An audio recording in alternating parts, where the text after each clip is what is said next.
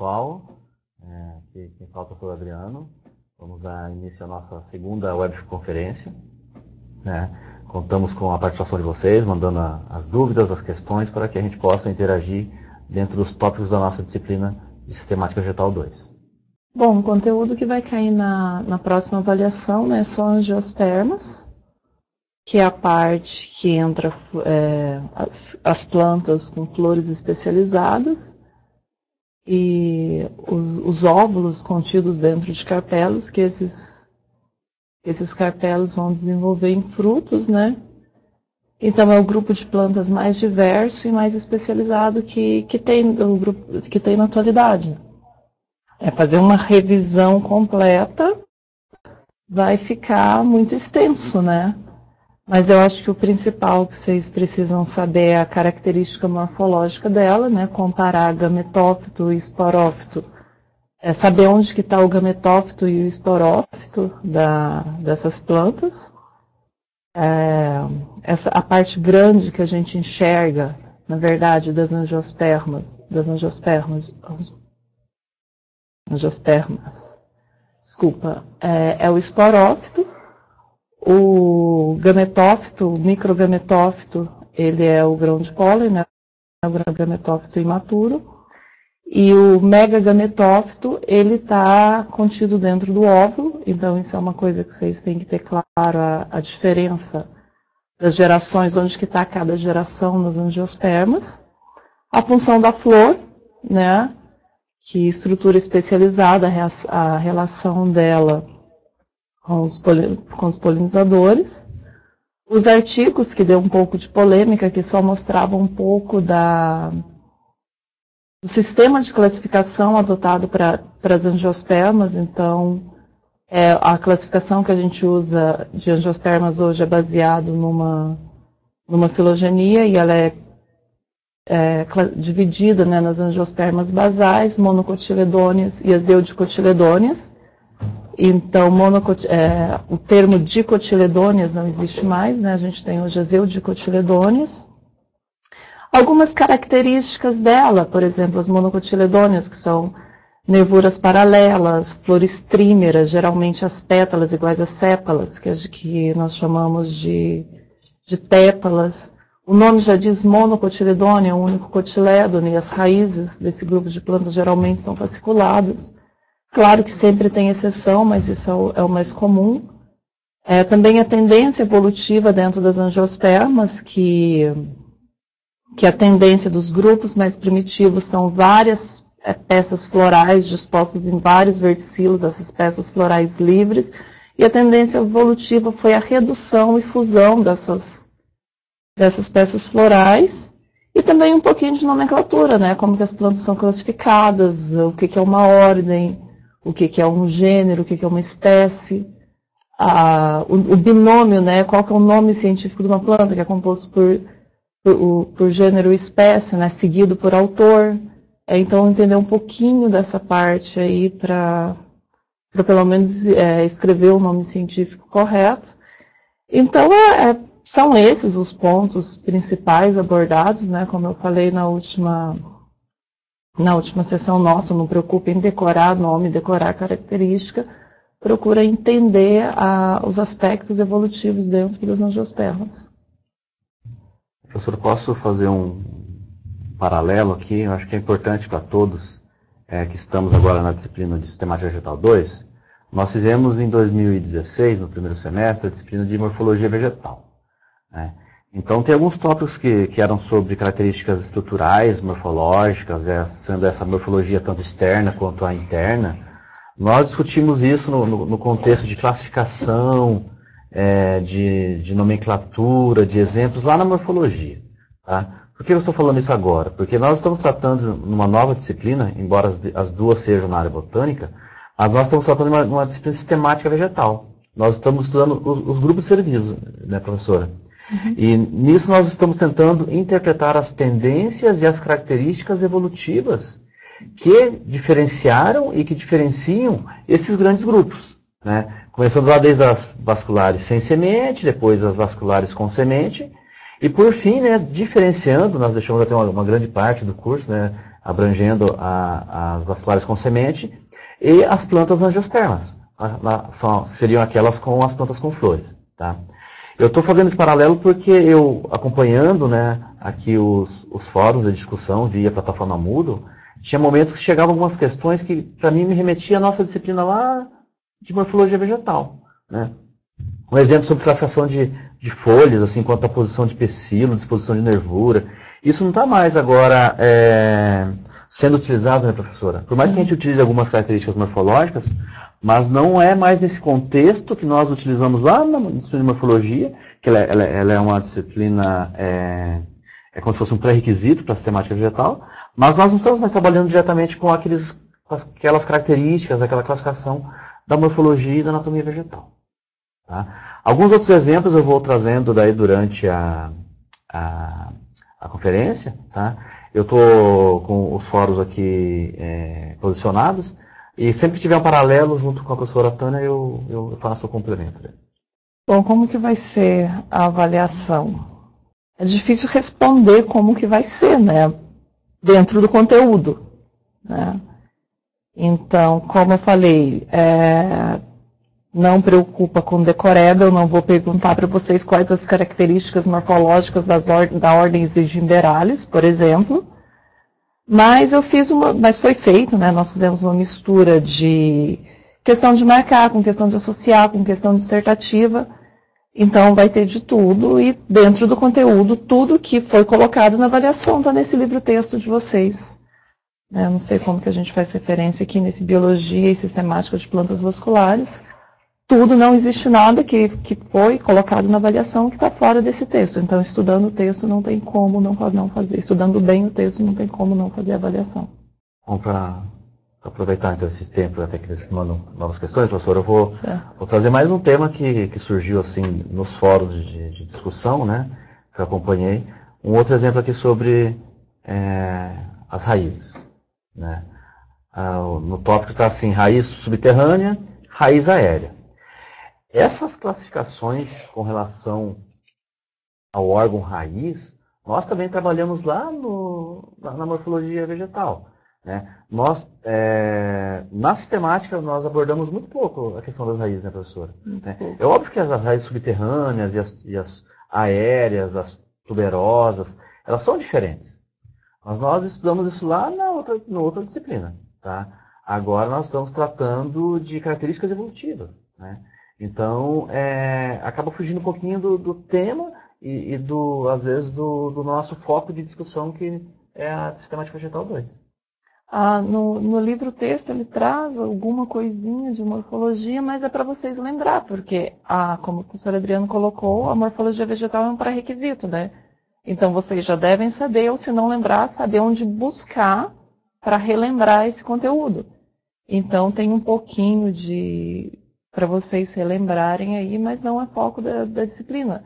Ah, o foco agora é como que vocês vão usar essas características morfológicas para agrupar as plantas. Quais são os grupos de plantas e como que essas, que essas características morfológicas se agrupam, né? Se, se elas têm relação nos, dentro desses, desses grupos ou não. Bom, o grado Anita ou grado Ana é o, é o grado basal das angiospermas, grado, né, porque é formado por três linhagens, ele não é um clado, então são três linhagens distintas. É, os, é formado os três grupos mais primitivos da, das angiospermas. Aqui nesse ano, aqui a PG4 traz Ana, deixa eu abrir a PG4 Agora é aqui. É Agora é Ana, não é mais Anitta. Apesar que os alunos gostam mais de Anitta do que de Ana. ah, deixa eu subir aqui. Então tá aqui, são três ordens, né? Porque a, o sistema PG ele traz essas, essa classificação pelas ordens, terminação alis é terminação de ordem, então amborelalis, ninfealis e austrobaelalis. É, tem a teoria, né, que os grupos basais das, das angiospermas eles têm flores pequenas, poucos vistosas, e com, com as peças livres, por exemplo, com carpelos livres. Mas ninfealis, né, é uma exceção que, que a gente tem representante aqui no Brasil de ninfealis.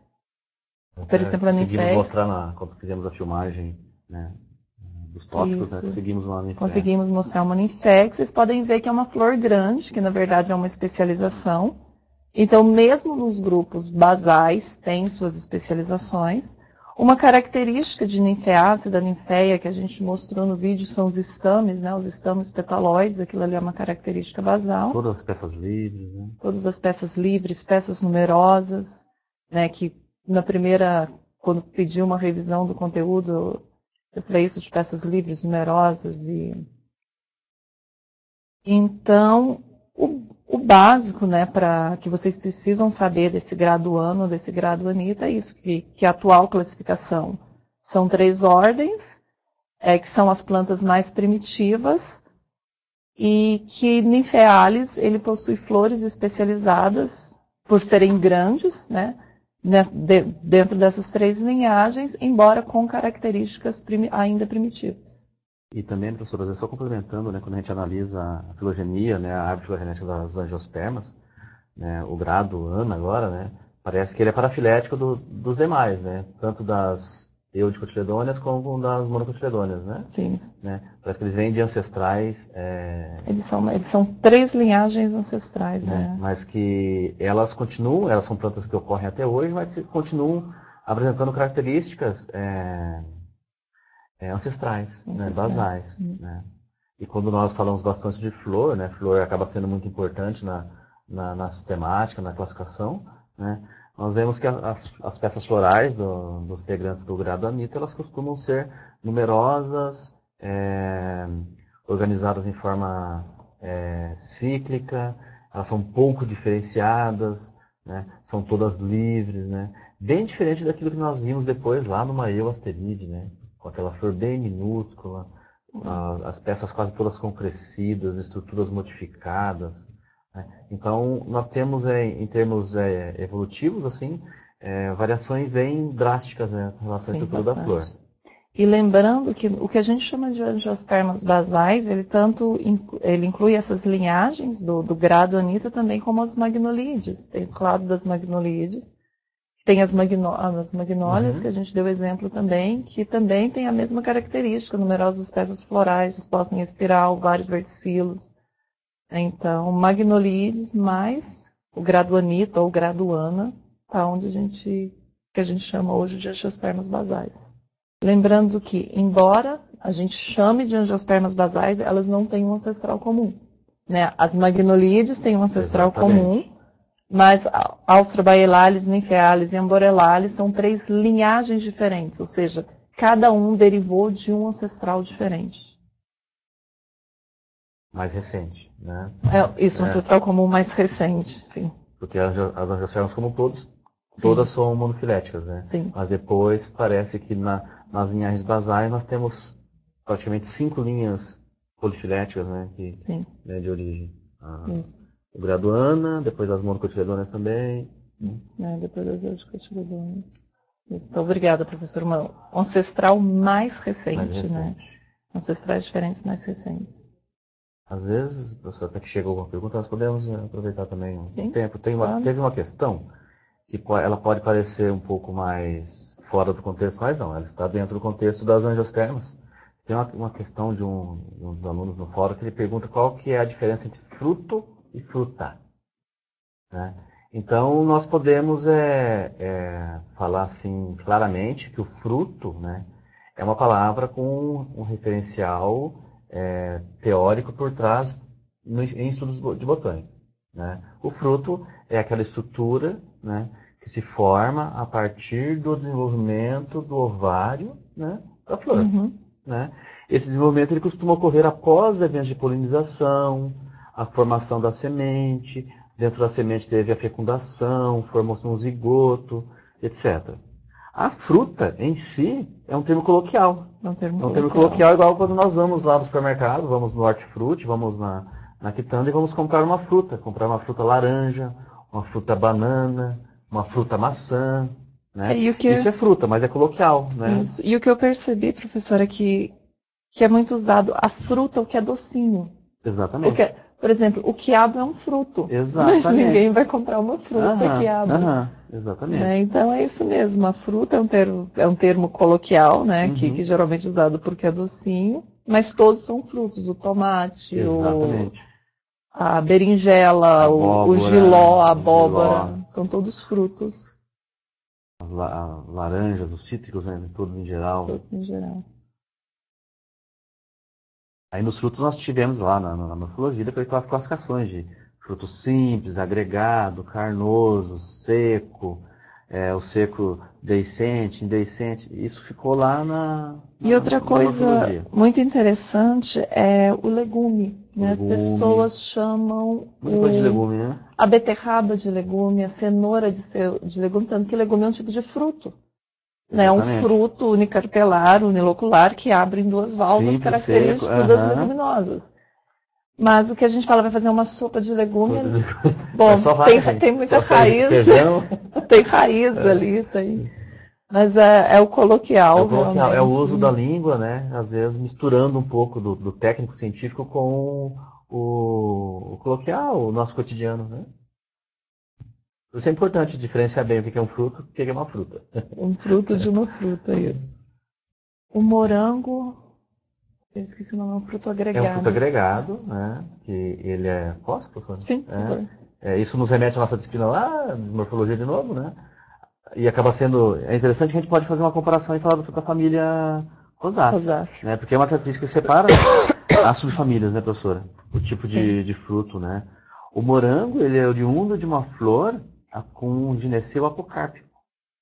Tem vários pistilos que são livres entre si, que ocorrem de forma. é, distribuem-se de forma. é, ao, ao- ao longo de toda a flor, tá?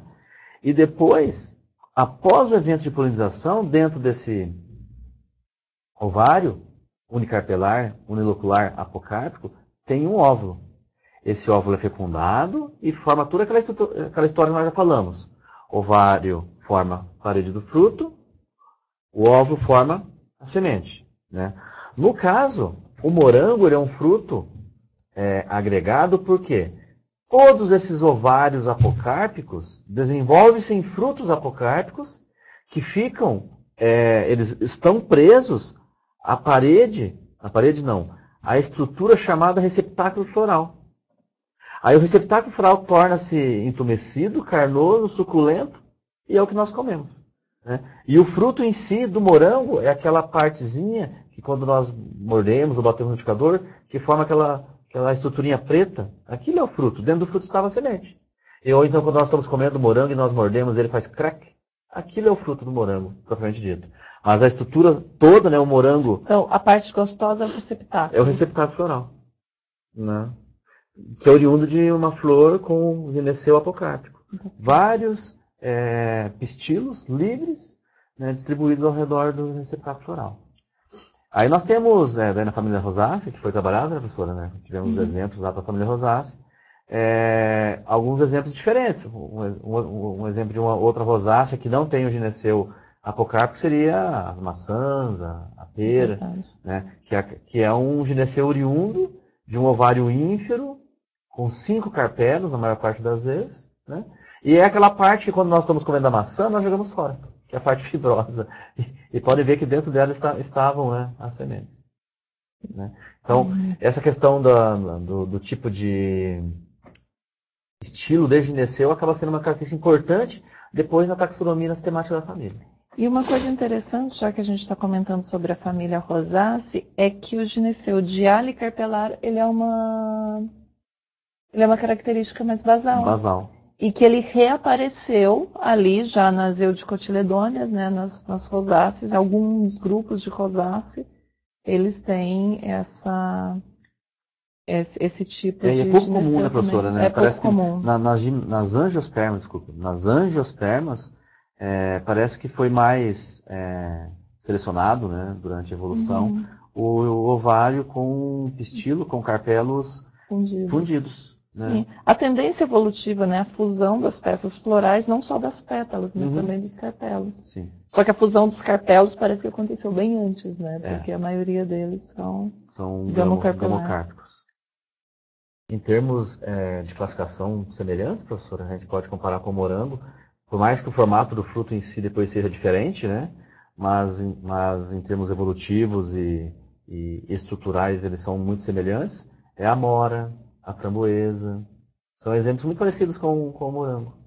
E o abacaxi já é diferente, são várias flores. Exatamente. E tem peças capilares, daí tépalas, o próprio é, pistilo, né, o próprio carpelo, eles são fusionados entre flores distintas. Aí já é uma outra classificação. Já é uma outra classificação. Que é o fruto múltiplo. Bom, as diferenças básicas entre as monos e euticotiledôneas, eu até comentei das monocotiledôneas, na hora que pediu a, a revisão, né? Então, as monocotiledôneas é um clado. Então, tradicionalmente, desde do, começo da classificação das plantas, é, existe o, o, que o pessoal chama de, que os pesquisadores chamavam de monocotiledônea. É, uma das características que mais marca é a presença de um único cotilédone, né? Por exemplo, feijão, a gente pega o feijão, abre ele, a gente parte ele em, dois, em duas partes, então dois cotilédones, cada um daquilo ali que a gente separa é um cotilédone. E o milho, por exemplo, a gente não consegue separar, o arroz também não. Então, uma das características das monocotiledôneas é um cotilédone. E as eudicotiledôneas são dois. As eudicotiledôneas, parte do que a gente reconhece chamou de eucotiledônea era que antigamente era chamado de dicotiledôneas, por ter dois cotilédones, que a filogenia, né, quando veio a APG, mostrou que não é um grupo monofilético. Então a gente não não pode dar um nome para um grupo que não tem um ancestral recente comum. É, então daí veio essa, esse nome eudicotiledôneas, então eles têm dois cotilédones, enquanto as monocotiledôneas têm um. Característica aquilo que a gente estuda desde o do ensino médio se mantém. As eudicotiledôneas em geral, né, na, na maioria, têm raízes pivotantes, enquanto as monocotiledôneas têm as raízes fasciculadas, ou aquilo que a gente chama de, de cabeleira. Ah, as flores das monocotiledôneas são trímeras, né? Três pétalas, três sépalas. Geralmente essas sépalas e pétalas, em grande parte, elas são elas são semelhantes entre si, né? Formam as tépalas, enquanto que nas eudicotiledôneas as pétalas e as sépalas são diferentes. As pétalas, também as sépalas, têm número de quatro ou cinco, é, mais comum em número de cinco uh, pólen monossulcado, monossulcado, e monocotiledônia e tri... Copado, tricolporado. Né? Nas, nas eudicotiledôneas, então a diferença na morfologia do grão de pólen também. Hum, que que falar? A maioria das monocotiledôneas são ervas, né? Uhum. Daí eu, eu vou até fazer um link também com a questão que chegou aqui até de um, um aluno que mandou eu estou mandando também algumas perguntas aqui no fórum. É, é interessante que eles estão também participando, cada um à sua forma, né? Às vezes a forma como consegue. Aí tem, toda a relação, que pergunta assim, quais são as características do caule entre as mono e as eudicotiledôneas, né? É, é daí, posso? Sim, daí, às vezes, é, a, a, a, principal diferença que a gente pode pensar assim, entre uma monocotiledônia e uma eudicotiledônia é que a monocotiledônia ela não desenvolve um crescimento lateral, né, ou secundário, né, igual a zildicotiledona desenvolve. Embora ela consiga ter um, um, um, um diâmetro é, grande que sustente, por exemplo, às vezes uma palmeira, né, uma palmeira de 50 metros, ela tá lá, ela tem um caule que sustenta aquela copa com as folhas, mas ela não tem um crescimento secundário que é oriundo da instalação de um meristema secundário igual ao câmbio, ou zona cambial. Né. As, as monocotiledonas não têm isso. Né? As monocotiledonas apresentam os feixes vasculares na região do caule é, mergulhados no meio de um parênquima. Né? E, e, essa forma como eles estão mergulhados ela é difusa, ela é difusa, tá? porque o floema sempre está lá para fora em relação ao xilema. Mas eles, é, esse padrão de, de, distribuição dos feixes vasculares no caule da monocotiledônia, ele é classificado como é, atactostélico. Hum, Sim. Enquanto que nas eudicotiledôneas, os feixes vasculares, eles ocorrem na maior, na, na maior parte das vezes na forma de um círculo. Né? uhum. ocupando uma região periférica, delimitando um, um córtex, uma região um pouco externa onde eles estão, e no centro dessa região é, caulinar nós temos novamente é, células parenquimásticas, ou no caso nós chamamos de medula. Né? Então essa distribuição espacial é, em forma circular, ela permite, depois da instalação do crescimento secundário, com a instalação do câmbio, com a medicina secundária, um crescimento lateral, tá? que faz com que as árvores tenham aquele porte lateral. Agora nós vemos uma sequoia que passa um carro dentro. Né? Então, são diferenças que nós podemos levantar entre as mono e as eudicotiledôneas, com relação ao caule, como chegou aqui na, na pergunta. E bom lembrar também que tem alguns tipos de caule que é compartilhado em mono dico. Por exemplo, bom, não sei se tem bulbo, é só em monocotiledônio. Ah, daí as, adaptações, né? As adaptações, temos, temos, rizoma é. e... É. Rizoma eu sei que tem nas eudicotiledôneas, não uhum. são nas monos, os bulbos sim, eu não bulbos, eles um tubérculo, né? É, sim, então tem as, é. as adaptações, às vezes pode estar presente nos o dois caule, grupos. às vezes, subterrâneo, acaba sendo um caule é, adaptado à reserva, né? Ou de água, ou de alimento, fotoassimilados, etc. É possível fazer uma classificação pelo ambiente que as plantas habitam? Uma classificação sistemática não, né, professora? Acho que eu não entendi muito Nós bem a pergunta. Nós conseguiríamos fazer uma classificação, às vezes, ecológica. Morfológica, ecológica, né, né de plantas aquáticas. aquáticas né? É, eu acho que taxonômica não. Taxonômica não, definitivamente não. Bom, o sistema de classificação é que desde que, que o pessoal começou a prestar atenção nas plantas, né, desde sempre, né, porque sempre foi utilizada como na alimentação, como medicinal, eles tentavam agrupar as plantas né, de uma forma que facilitasse conhecer. Por exemplo, porque mesmo antes de Cristo, eles já usavam as plantas e era vamos dizer, era conveniente para eles conhecer ela por algum nome, ter alguma denominação para a planta, para eles continuar usando é, para finalidade. E o sistema de classificação ele começou com características morfológicas bem básicas, né? Geralmente você pegava uma característica morfológica, por exemplo, o hábito. Então todas as plantas eram classificadas em erva, arbustos ou árvores. Era a forma deles agruparem. E desse primeiro sistema de classificação, que é, que é de antes de Cristo até o que a gente tem hoje, vários sistemas é, surgiram, principalmente que era muito subjetivo, não tinha conhecimento da teoria da evolução. Então, um pesquisador um naturalista, ele achava que o hábito era, era a melhor forma de. mais fácil até, né? eles não, não tinham conhecimento de evolução, então eles queriam uma forma que fosse fácil de lembrar para conhecer as plantas. Quando veio o Linneu, ele classificou pelas plantas, né? Então, o número de estames que ele utilizou, né? Então, ele contava a planta que tem cinco estames, ele agrupa num lugar, dez estames em outro, numerosos em outro.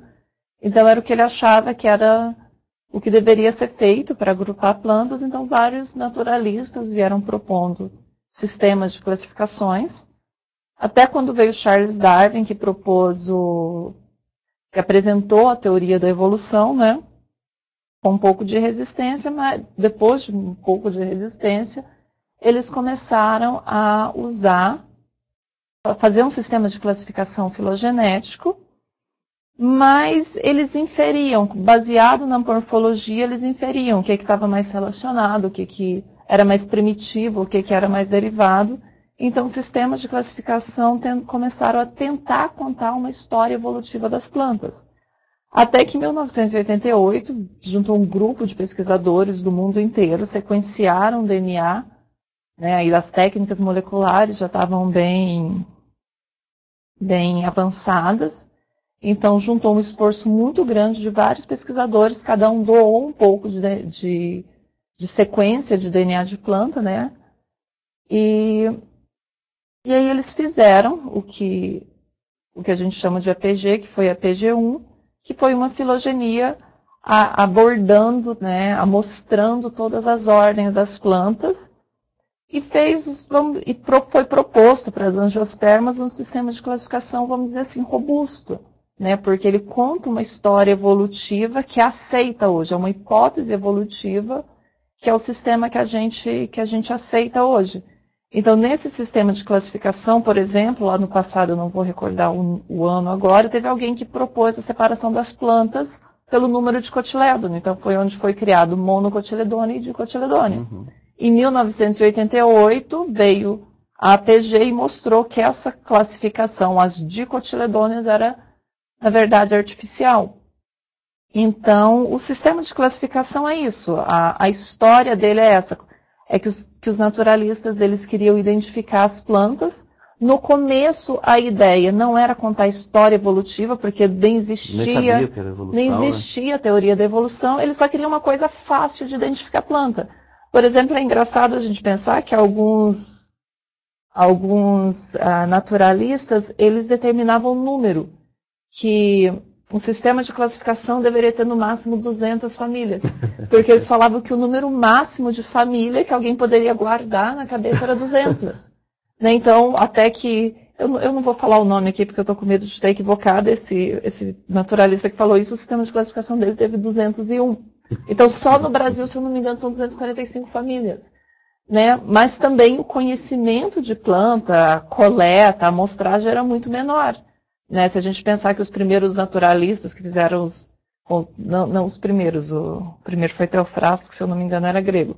Mas muitos dos naturalistas vieram da Europa. A diversidade da Europa é muito menor do que o que a gente tem aqui nos trópicos, né? Então a quantidade de planta disponível para eles. E, e, pensar também no contexto histórico, né, professora? Os naturalistas eles vieram depois de 1700, né?